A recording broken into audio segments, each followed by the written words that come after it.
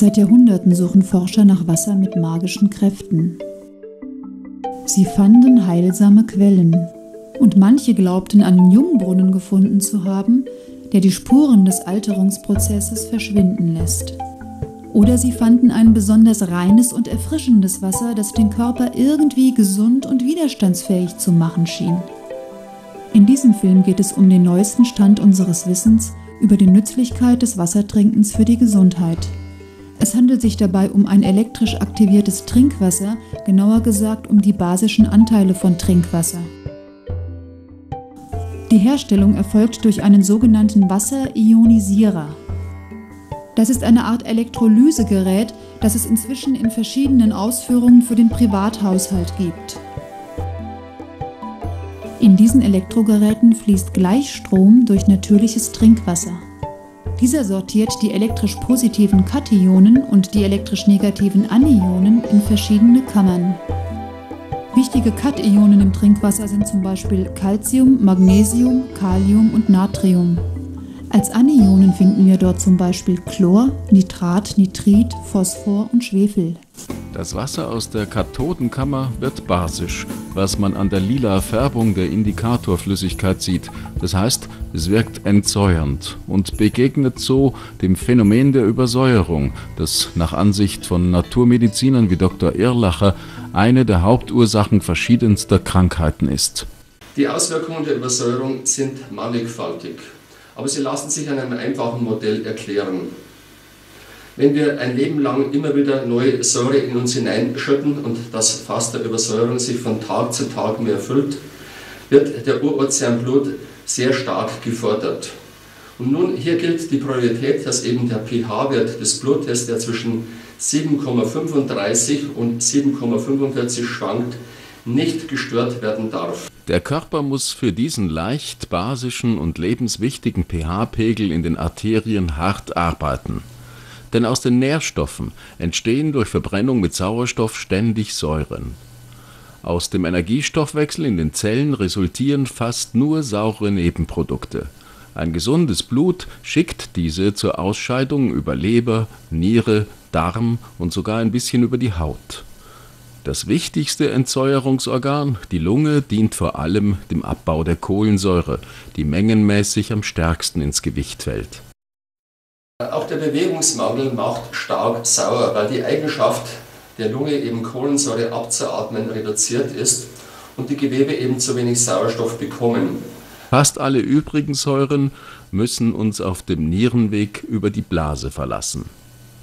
Wenn Lunge und Niere die Säurelast nicht mehr bewältigen können, werden die Fässer der Übersäuerung mit Mineralien abgelöscht und in Gewebe und Organen zwischengelagert. Die Folge Mineralienmangel.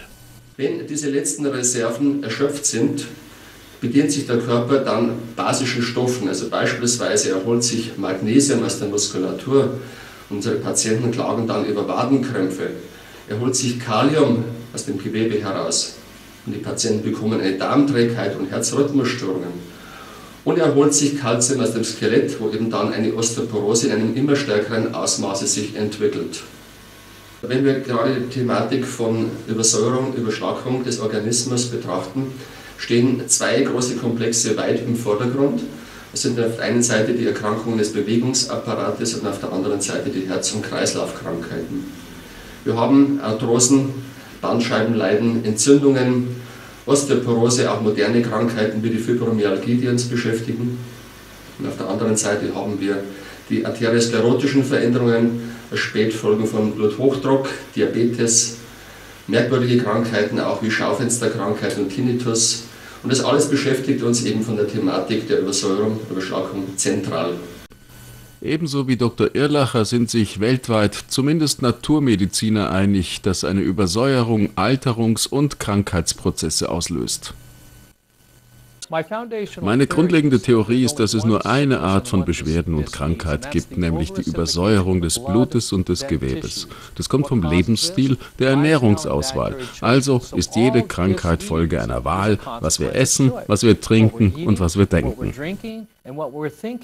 Nach unserer Erfahrung und unserer Einschätzung ist das aktive Basenwasser unerlässlich als Therapie für die Zivilisationskrankheiten. Es hat einen hohen Stellenwert auch in der Vorbeugung, in der sogenannten Prävention von Zivilisationskrankheiten, wozu also auch die Arteriosklerose, der Zucker, der Hochdruck, selbst die Adipositas, das massive Übergewicht, als auch die Tumorerkrankungen nach meiner persönlichen Einschätzung gehören. Ich halte das aktive Basenwasser für eine wichtige Voraussetzung für unser aller Gesundheit. Mit was für einer Krankheit auch immer ein Patient zu mir kommt, abgesehen von allen anderen Maßnahmen schlage ich immer zusätzlich basisches Aktivwasser vor. Der langjährige Einsatz von basischem Wasser ist ein Elixier für die Gesundheit. Ich habe den Einsatz von basischem Wasser einmal als das Perpetuum mobile der Entsäuerung bezeichnet. Wir finden bei den Patienten regelmäßig eine Verbesserung im Bereich des Befindens, Viele Krankheiten, die mit Säurebasenproblemen in Zusammenhang stehen, lassen sich eindrucksvoll verbessern. Basisches Aktivwasser in der reinen Form kann oft innerhalb weniger Tage Verklebung des Blutes zur Auflösung bringen. Hier ein Beispiel einer Patientin mit einer Geldrollenbildung, die trotz ASS diesen Effekt aufweist. ASS hat blutverdünnende Eigenschaften, aber auch nicht bei jedem Patienten. Und wir sehen also in diesem Beispiel sehr deutlich, dass eben hier Flüssigkeit fehlt, basische Flüssigkeit fehlt. Wir haben dieser Patientin für nur 24 Stunden basisches Aktivwasser zum Trinken gegeben.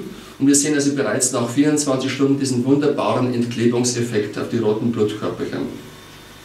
Nun, natürlich ist es so, dass wir nicht bei jedem Patienten innerhalb von 24 Stunden diesen Effekt herbeiführen können. Wenn jemand eine sehr starke Übersäuerung im Gewebe aufweist, dann brauchen wir sicherlich einen längeren Zeitraum. Und das bedeutet, er muss das basische Wasser dann eben zu Hause in einem längeren Zeitraum weiter konsumieren. Auch die Hamburger Ärztin Elke Olearius empfiehlt basisches Aktivwasser als Entsäuerungsstrategie. Also im Prinzip kommt jeder dafür in Frage. Also äh, wenn jemand jetzt zum Beispiel Gelenkerkrankungen ja, bei Gelenkerkrankungen ist es, da kommen zwei Faktoren zusammen. Einmal Schmerzen, die säuern schon. Zweitens die Gelenkerkrankung selber.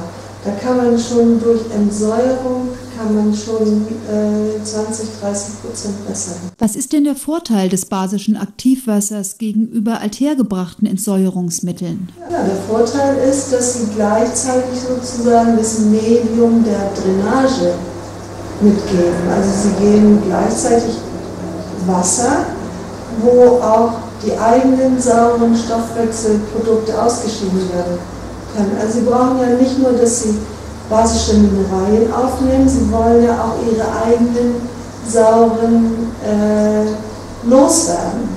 Und dazu brauchen sie ja ein Medium.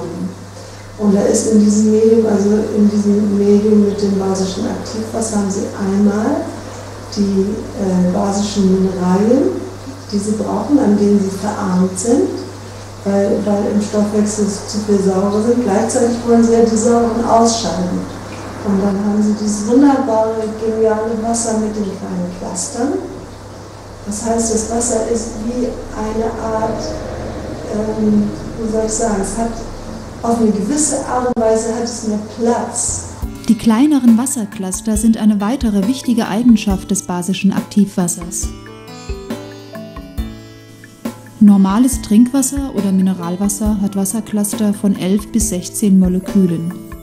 Basisches Aktivwasser aus dem Wasserionisierer hat Wassercluster, die nur halb so groß sind. So wird das Wasser leichter trinkbar und besser aufnehmbar.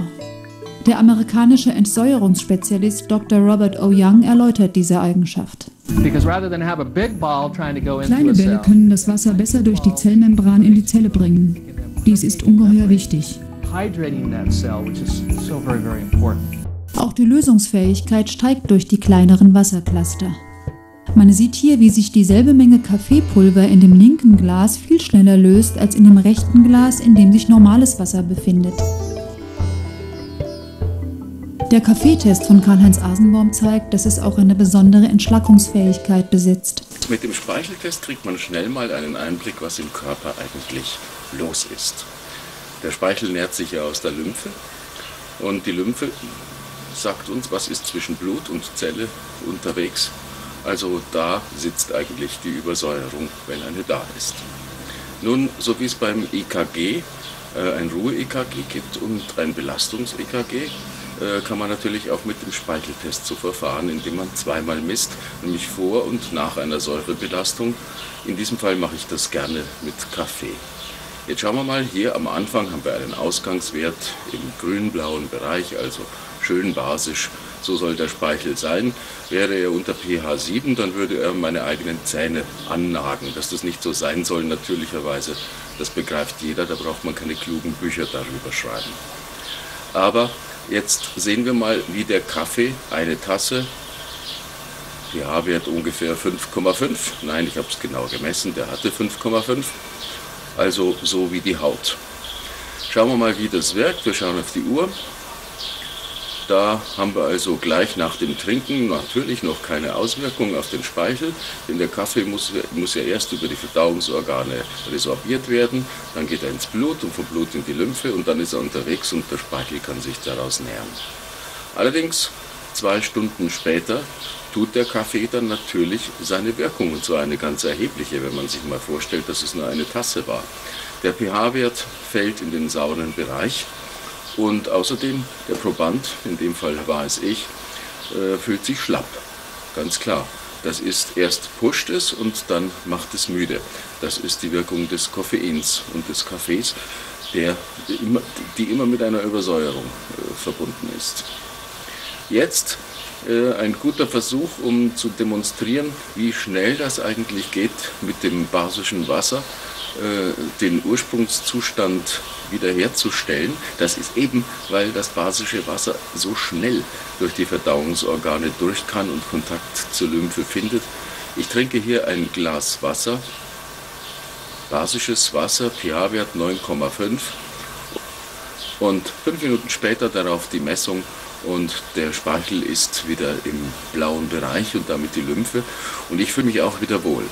Deswegen ist dieses Glas Wasser zum Kaffee natürlich gut, aber das Glas basisches Wasser dazu ist viel besser und es ist viel besser, als mit dem guten basischen Wasser den Kaffee zu machen. Der wird dadurch nämlich nur wenig, weniger sauer. Kaffee ist bei weitem nicht das sauerste Getränk, das in unserem zivilisatorischen Umfeld verbreitet ist. Dies zeigt die Tabelle aus dem Service-Handbuch Mensch. Viele Mineralwässer, die empfohlen werden, sind genauso sauer, werden aber nicht tassen, sondern flaschenweise getrunken. Saurer noch als Essig sind Limonaden, insbesondere Cola-Getränke, die fast an den Säuregrad der Magensäure heranreichen. Im Service-Handbuch Mensch wird für die dauernde Trinkkur ein Wert bis zu pH 9,5 empfohlen. Während einer Therapie wird auch noch stärkeres basisches Wasser gegeben. Die Frage, welche Menge an basischem Wasser soll man tagtäglich konsumieren? Wir empfehlen unseren Patienten pro 10 Kilogramm Körpergewicht 0,3 Liter an basischem Wasser über den Tag verteilt zu trinken. Und das ist wohl eine richtige Erfahrung, denn wir haben mit diesen Einstellungen noch nie einen Patienten gesehen, der zu basisch geworden wäre. Der Elektronenreichtum des basischen Aktivwassers führt zu, einer, zu einem hohen Wert im Rahmen der Prävention, der Vorbeugung von Krankheiten, als auch zu einem hohen Wert und zu einer hohen Wirksamkeit bei den Zivilisationskrankheiten wie Zucker. Beim Blutdruck ist es so, dass jeder anspricht, dass es etwas länger läuft, aber wir haben durchaus hier die Beispiele unserer Praxis, wo der Blutdruck doch dann äh, wesentlich bessere Werte erreicht und nachher mit dem allgemeinen Befinden sich äh, auch teilweise wieder völlig normalisiert.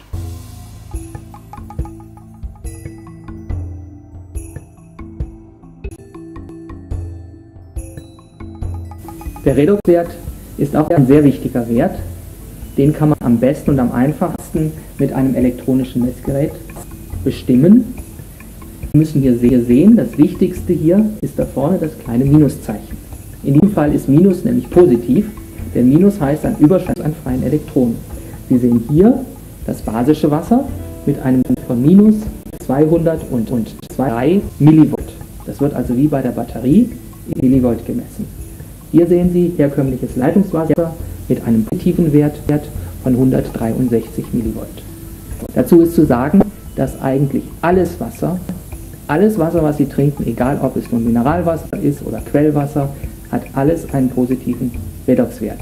Das einzige Wasser, was es so gibt, was einen negativen Redoxpotenzial hat, Ihnen also freie Elektronen gibt, ist das basische Aktivwasser.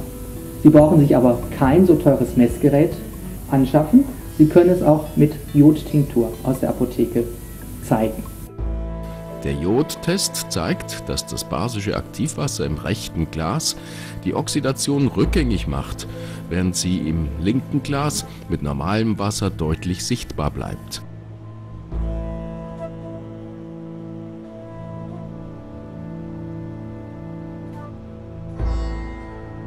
Nur mit Vitamin C kann man eine ähnliche antioxidative Wirkung erzielen.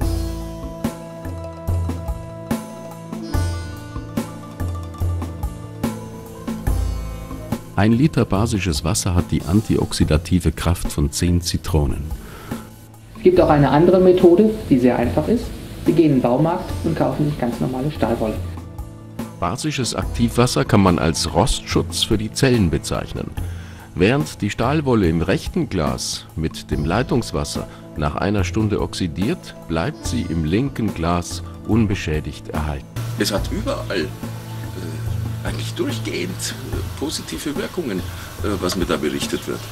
Und ich denke, äh, dass dieses basische Aktivwasser ein Muss in unserem krankenden Gesundheitswesen ist und dass der Siegeszug eigentlich unaufhaltsam ist.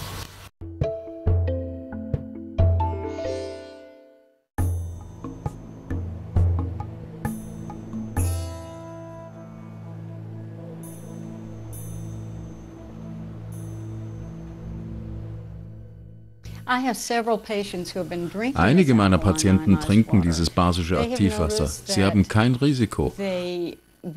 Einer wurde seine Gicht los, eine Frau ihre Arthrose. Einige berichten, dass ihre Verstopfung komplett aufgehört hat. Blähungen sind bei einigen Patienten total verschwunden. Die Leute haben mehr Energie. Sie berichten von Vorteilen über das gesamte Spektrum.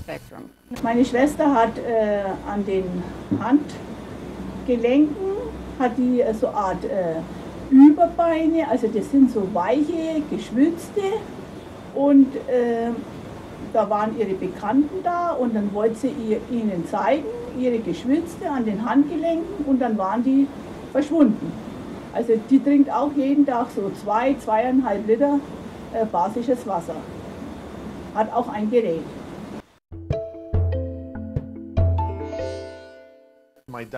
Mein Verdauungstrakt hat sich verändert, das Bedürfnis nach Nahrung. Es ging mir auf einmal viel besser denn je. Ich kann es nicht fassen. Also ich bin so überzeugt von dem Wasser. Dann habe ich noch eine, eine Cousine in München und die hat auch Probleme eben mit, mit der Galle, Lebergalle. Dann habe ich zu ihr gesagt, du habe ich gesagt, für die habe ich was. Das war eigentlich für mich Grund auszuprobieren, ob es auch anderweitig wirkt.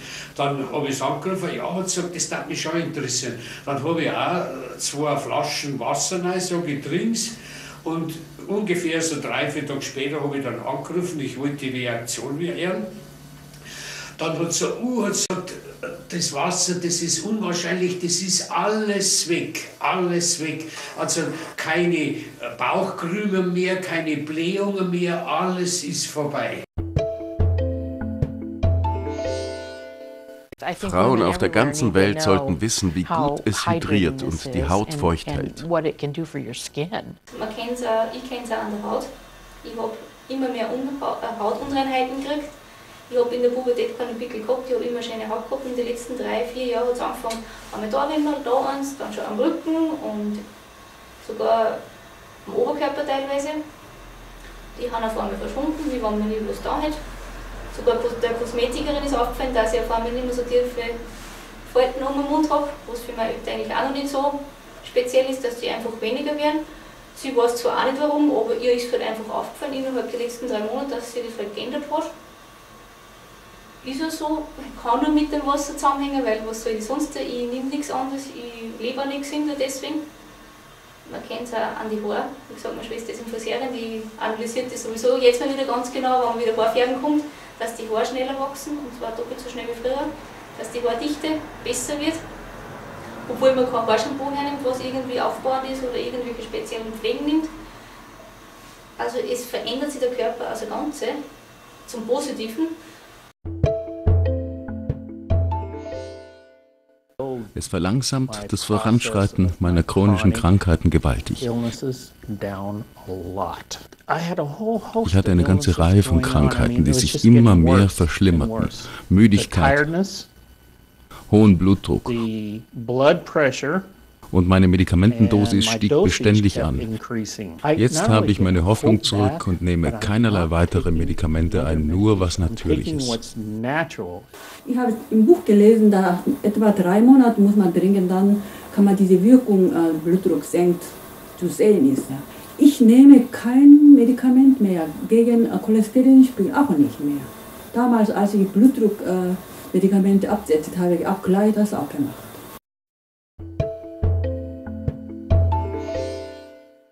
Der eindrucksvolle Effekt des basischen Wassers sei hier in einem Beispiel erläutert.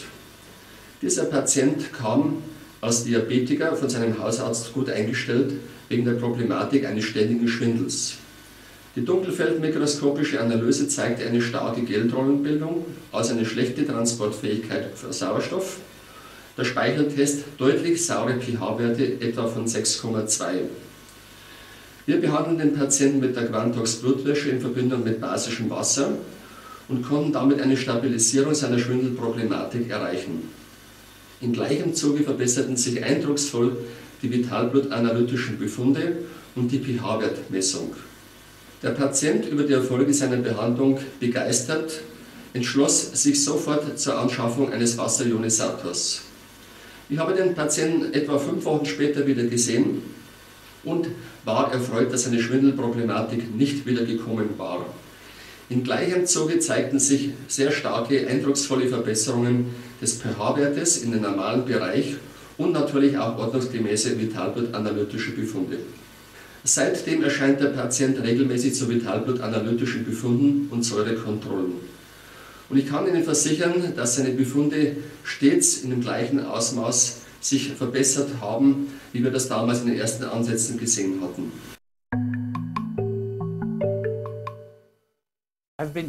Ich trinke basisches Aktivwasser inzwischen seit sieben Monaten und habe seitdem keine einzige Allergiemedizin mehr genommen.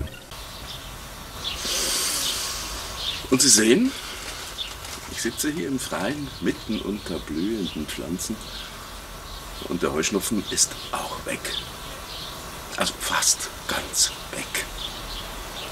Wenn ein leichtes Niesen mal herandreut, dann gehe ich sofort zu meinem Ionisierer und trinke einen großen Schluck basisches Wasser. Ein großer Schluck, das ist bei mir ein guter halber Liter.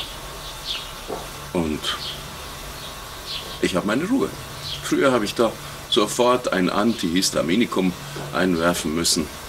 Nicht zu wenig und danach fühlt man sich ja so fürchterlich schlapp, kann nicht mehr arbeiten. Also das ist kein schönes Dasein.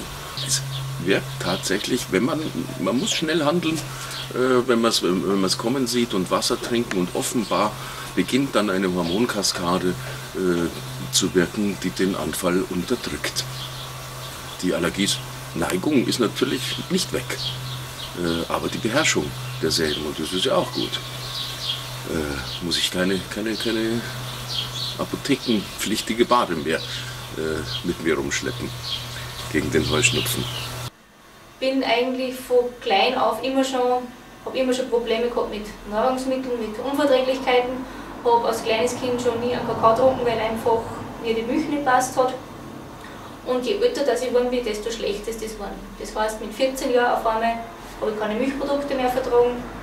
Dann mit 20 Jahren auf einmal habe ich draufgekommen, ich soll eigentlich keine Fruchtsäuren zu mir nehmen. Also das heißt einfach, alles was im Leben irgendwie gut ist und schmeckt, passt mir einfach nicht so.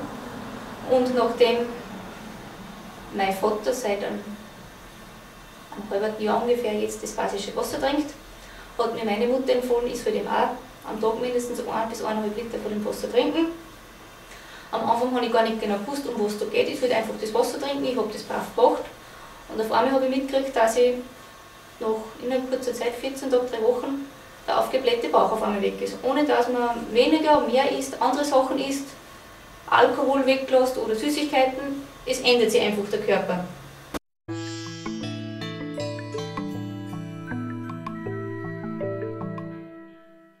Die meisten Leute verstehen die Übergewichtigkeit nicht. Sie ist die perfekte Verteidigung des Körpers gegen Übersäuerung. Wenn man Äpfel mit Birnen vergleicht, lebt die Apfelfigur gefährlicher, aber wie abnehmen im Bauchbereich. Ich trinke basisches Aktivwasser seit etwa sieben Monaten und ich habe 20 bis 23 Kilo verloren. Aus der Königsweg der Entsorgung wird häufig das Heilfasten bezeichnet. Seitdem wir im Bereich des Heilfastens basisches Wasser in einer Menge von bis zu 5 Litern einsetzen, haben wir viel einfachere Erfolge und schnellere Verläufe im Bereich der Patienten, die sich mit dem Heilfasten naturgemäß etwas schwer tun. Gerade beim Heilfasten entsteht durch den Abbau von Gewebe eine starke Säureflut. Hier sehen wir den Verlauf eines Heilfastens in Vitalblut-analytischen Bildern.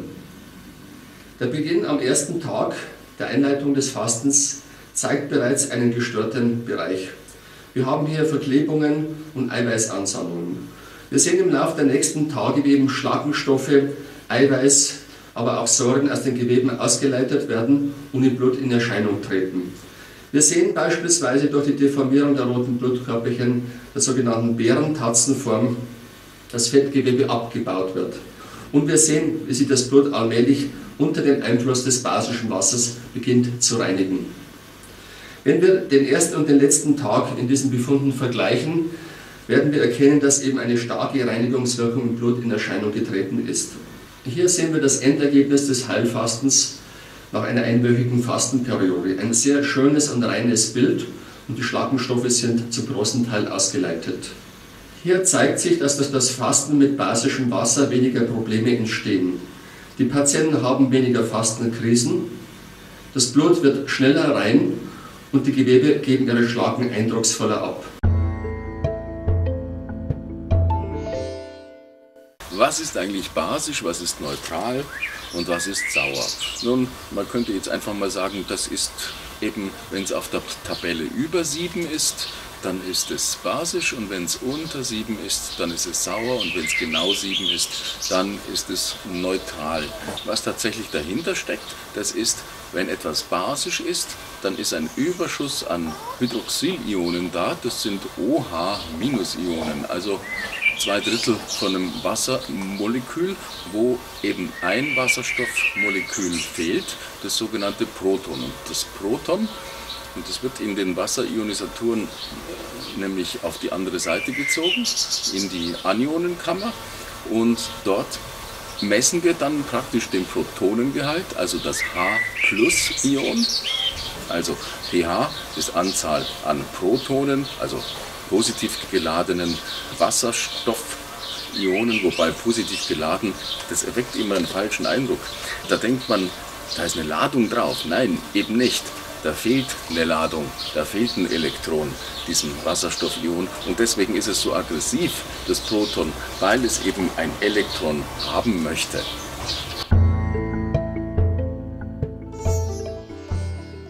Sind sogenannte Basenbooster, also Wasserlösungen mit einem pH-Wert oberhalb von 9,5, ein sinnvoller Ersatz für das kontinuierliche Trinken von basischem Aktivwasser? Ja, das ist eine schöne Vorstellung. Man macht sich ein Basenkonzentrat und das verdünnt man dann mit normalem Wasser. Also wie so eine Art Basensirup, äh, den man dann ins Wasser gibt und dann wird alles gut. Aber das ist eben leider nicht der Fall. Ähm, dieses basische, super ionisierte Wasser, äh, wie man sagt, äh, wird ja erzeugt wie normales basisches Wasser, nur dass man den pH-Wert höher einstellt. Das heißt, man macht eine längere, intensivere Elektrolyse und dadurch geht der pH-Wert nach oben. Wie das geht, das äh, erfahren Sie am besten vom Fachmann. Kann man solche Basenbooster bzw. Katholyt selbst herstellen? Wollen Sie speziell stark ionisiertes Wasser herstellen, sprich mit einem hohen und einem sehr niedrigen pH-Wert, nehmen Sie normales Kristallsalz oder Himalaya-Salz oder auch eine speziell in der Apotheke hergestellte Salzmischung. Hier zum Beispiel Natriumbicarbonat, Calciumcitrat, Kaliumbicarbonat und Magnesiumcitrat. Sie können in jede Kammer maximal zwei von diesen mitgelieferten Messlöffeln voll hineintun. Sie rühren es dann gut um und starten die Ionisierung. Wenn Sie einen sogenannten pH-Booster herstellen wollen, nehmen Sie drei Messlöffel auf jede Seite und stellen das Gerät auf 99 Minuten ein und Sie erhalten einen pH-Wert von bis zu 12 auf der basischen Seite. Man kann jetzt einen sehr, sehr starken Basenbooster erzeugen, indem man destilliertes Wasser nimmt. Dann gibt man Kochsalz rein, also Natriumchlorid, das trennt sich dann und dann hat man auf der einen Seite eine, ja, ungefähr mit einem pH-Wert von, von 12 bis fast 14, eine man muss es einfach ganz klar beim Namen nennen. In der Schweiz ist das auch schon getan worden in der Presse. Es handelt sich eigentlich um Natronlauge. Und diese Natronlauge jetzt dann mit Wasser zu verdünnen, führt dazu, äh, dass ich halt den pH-Wert von dem Wasser raufsetze, aber nicht dessen Wert. Äh, denn ich gebe da Natrium äh, rein und destilliertes Wasser und wo ist da bitteschön der sittliche, sprich mineralische Nährwert von diesem Wasser? Schon gar nicht, wenn ich das auf Dauer trinke. Das kann man vielleicht mal machen, wenn man unterwegs ist, auf Reisen und zwischendurch wenn man denkt, man hat jetzt eine Übersäuerung zu bekämpfen und hat keine andere Möglichkeit. Aber das ganz, ganz Wesentliche, was diese Basenbooster, ich habe sie alle getestet, nicht haben, äh, das ist ein Redoxpotenzial. Die Hersteller kommen zwar mit Gutachten, also so ein kleines Fläschchen kostet dann so 20 bis 60 Euro, äh, halber Liter oder sowas äh, von diesen Basenboostern. Und das hat dann äh, die, die, die bringen einem dann ein Gutachten, wo dann drinsteht, was für ein hohes Redoxpotenzial das hat. Ja klar, die lassen die Analyse machen, nachdem es hergestellt wurde. Dann ist das Redoxpotenzial zweifellos da und es ist hoch. Aber wenige Tage, oft sogar Stunden später, äh, ist das Redoxpotenzial weg. Also keine von den Flaschen äh, dieser Präparate, äh, die ich da getestet habe, hatte auch nur das mindeste Redoxpotenzial. Und damit ist der Hauptwert neben der Entsäuerung, den das basische Aktivwasser hat, nämlich die Radikalfängerfunktion, also dieses antioxidative Potenzial, die Energie, die das Wasser mitbringt, nicht in diesen Basenboostern drin. Und deswegen ist es eigentlich unglaublich, dass man dafür so viel Geld verlangt.